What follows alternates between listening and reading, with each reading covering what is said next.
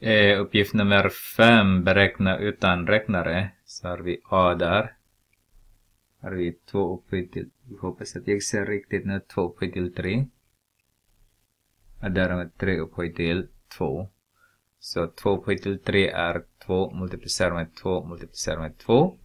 Och 3 upphöjt till 2 är 3 multiplicerat med 3.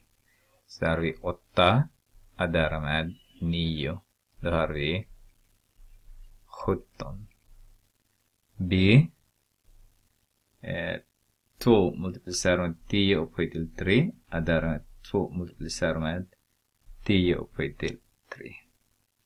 Så det här är 2 multiplicerat med 1000. Det är 1000. Och därmed 2 multiplicerat med 1000.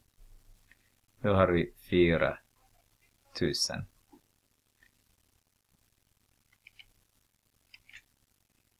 Två multiplicerat med 1000 så har vi 2000. och med 2000. Så har vi 4000. Så